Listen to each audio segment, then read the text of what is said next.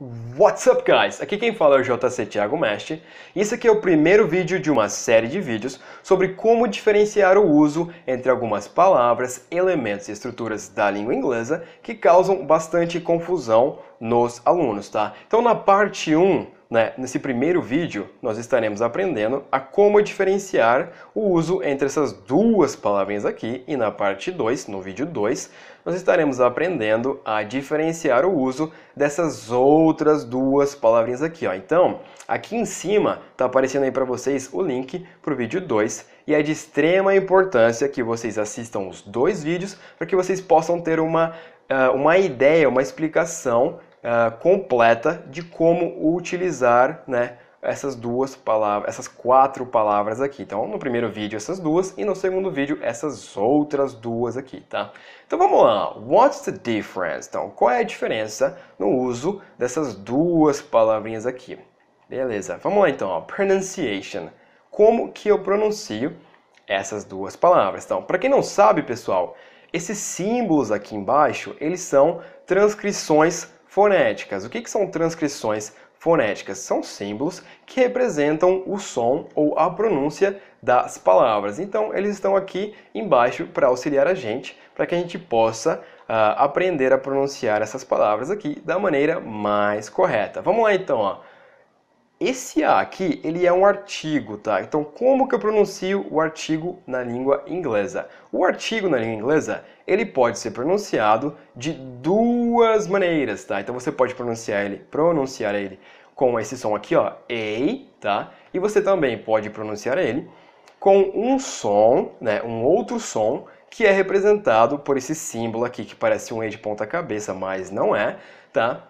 E esse símbolo aqui, o nome dele é schwa. Qual é o som que esse símbolo representa? O schwa representa esse som aqui, ó. Uh, uh. Eu sei, né? É um som estranho, é um som que não existe na língua portuguesa, mas é um som muito utilizado pelos falantes nativos da língua inglesa e ele está presente em inúmeras palavras da língua inglesa. Então, eu particularmente prefiro pronunciar o artigo com o som do schwa, tá? Porque ele torna a fala mais rápida, ele torna a fala mais prática e mais dinâmica, tá? Então, sem mais delongas, vamos agora então aprender a pronunciar essa palavra aqui. Como que eu pronuncio ela? A pronúncia dela é essa aqui, ó, fio, fio. Então, ó, a fio, fio, a fio, fio. Bem fácil, né? Não tem segredo. Então, vamos lá, ó. a fio e fio transmitem a ideia de pequena quantidade, tá? Então, se vocês quiserem expressar a ideia de que existe uma pequena quantidade de alguma coisa, muito provavelmente vocês estarão utilizando uma dessas duas palavras aqui, beleza? Vamos lá então, ó. Meaning. Então, uh, significado. Como que eu posso traduzir cada uma aqui, né, dessas duas palavras? Então, a few pode ser traduzido como alguns ou algumas, tá? E o few pode ser traduzido como poucos ou poucas, tá? Então perceba que a tradução ela está no plural e daqui a pouco vocês vão entender o porquê, tá? Vamos lá então, continuando. Difference. Qual é a diferença, então, né? Uh, na definição de cada uma dessas duas palavras aqui, para que a gente possa entender melhor, tá? Vamos lá então, ó. a few é utilizado junto com substantivos contáveis. Então, substantivos, para quem não se lembra, de uma forma bem simples aí, né? Substantivos são coisas ou seres, tá? Então, a few é utilizado junto com coisas ou seres contáveis. Coisas ou seres contáveis são coisas ou seres que você consegue colocar no plural e, portanto, você consegue enumerá-los, tá? Então, pessoas são seres contáveis, são, então são seres que você consegue colocar no plural. E, por exemplo, carros são coisas, né, que você que são consideradas contáveis, porque você consegue colocar no plural e, portanto, você consegue enumerá-los. Né? Então, um carro, dois carros, né? Bem simples. Vamos lá, então. Ó. Fio é utilizado junto com substantivos, né? Então, coisas ou seres contáveis. Então, perceba que a definição dos dois até esse momento aqui, ó, é idêntica, é a mesma. Mas existe um porém. né? Few transmite uma ideia negativa, tá? Então, ou seja, transmite uma ideia de quantidade insuficiente, beleza? Vamos lá então, ó. examples, tá? Pessoal, eu vou sempre estar trazendo para vocês exemplos, porque estudar por meio de exemplos é a melhor maneira para se consolidar o conhecimento, né? Para que se para se entender realmente como funcionam palavras, estruturas e elementos da língua inglesa, tá? Então vamos lá, sempre por meio então de exemplos. Ó, aqui a gente tem uh, a mesma frase repetida duas vezes, mas a única diferença é que no primeiro caso nós estamos utilizando a few e no segundo caso nós estamos utilizando few, beleza? Então vamos lá. I know a few people from my college. I know a few people from my college, tá? Então qual é a diferença, né, entre eu utilizar a few e few? Vamos lá então, ó.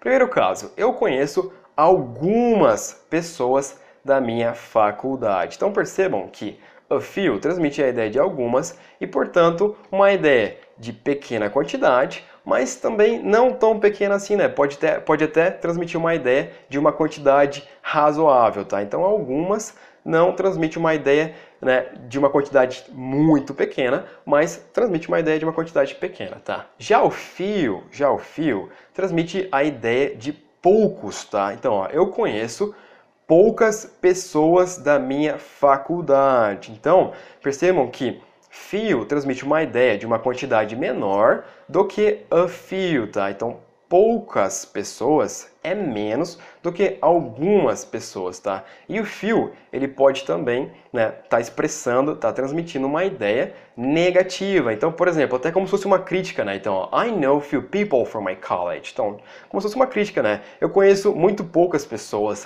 uh, da minha universidade, beleza? Bem fácil, né? Vamos lá então, mais um exemplo para que vocês possam realmente consolidar aí essa informação que está sendo passada e, portanto, possam aprender realmente a diferenciar o uso das duas palavrinhas aí. Vamos lá então. I have a few good friends. I have few good friends, tá? Então, qual é a diferença entre eu usar a few e few, tá? No primeiro caso, a gente tem aqui como tradução eu tenho alguns bons amigos. Então, como eu disse, né, alguns expressa uma ideia de uma pequena quantidade, mas não tão pequena assim, né? Pode ser então uma quantidade moderada, uma quantidade razoável, tá? Mesmo sendo uma quantidade pequena. Agora, few, né, como eu disse, transmite a ideia de poucos, tá? Então, ó, eu tenho poucos bons amigos, então Percebam que se eu utilizar fio, eu vou estar transmitindo uma ideia de uma quantidade menor, tá? Do que se eu tivesse, do que se eu estivesse utilizando a fio, beleza? Então, como eu disse, pode soar até como uma crítica, né? Então, transmite uma ideia de uma quantidade insuficiente. Então, I have few good friends, né? Então, pode soar como uma crítica, né? Tipo, eu tenho poucos bons amigos. I have few good friends, né? Então, essa aí é a diferença no uso entre essas duas palavras aqui. Bem simples, né? Não é difícil de entender, beleza? Vamos lá então, né?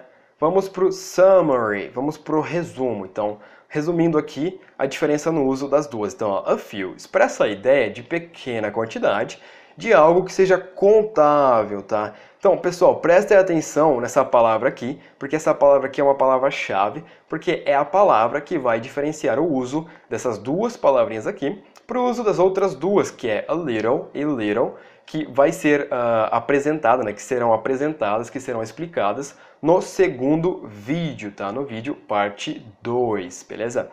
Vamos lá então, ó. Então, ó, expressa a ideia de pequena quantidade de algo que seja contável, e não transmite ideia negativa, tá? Transmite então somente uma ideia de pequena quantidade, mas não passa a ideia de uma quantidade insuficiente e, portanto, uma ideia negativa. Já o fio, tá? Expressa a ideia de pequena quantidade de algo que seja contável, ok? mas a diferença é que transmite ideia negativa e, portanto, transmite a ideia de que a quantidade em questão é insuficiente, beleza? Bem fácil, né? Alright guys, I hope you guys liked this video and if you did like this video, please hit the like button, subscribe to the channel and I'll see you in the next videos.